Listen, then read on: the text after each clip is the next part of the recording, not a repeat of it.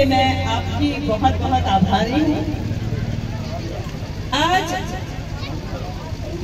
मैं आप सबके सामने विकास जी, जो झा परिवार के शुभ चिंतक हैं, हमें लेकर आए हैं। मुझे बहुत खुशी हुई है यहाँ आकर।